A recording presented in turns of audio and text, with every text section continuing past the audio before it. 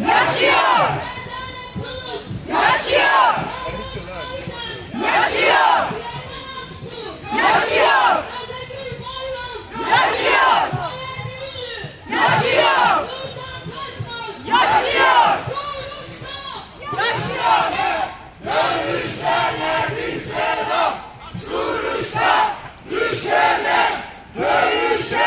Değerli izleyiciler, şu anda İngiltere'nin başkenti Londra'da Suruç katliamını protesto için gerçekleştirilen yürüyüşü izlemektesiniz.